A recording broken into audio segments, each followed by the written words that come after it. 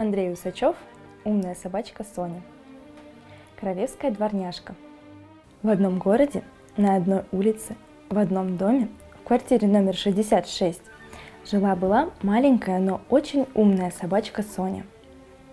У Сони были черные блестящие глаза и длинные, как у принцессы, ресницы.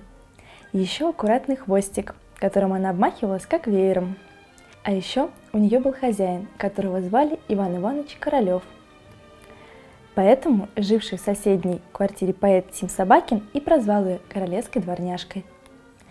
А остальные подумали, что это такая порода.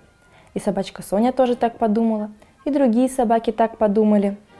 И даже Иван Иванович Королев тоже так подумал, хотя знал свою фамилию лучше остальных. Каждый день Иван Иванович уходил на работу, а собачка Соня сидела одна в своей 66-й королевской квартире и ужасно скучала – Наверное, поэтому с ней случались всякие интересные истории. Ведь когда становится очень скучно, всегда хочется сделать что-нибудь интересное.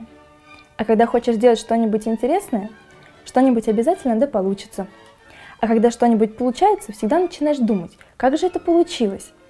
А когда начинаешь думать, почему-то становишься умнее. А почему, никому не известно.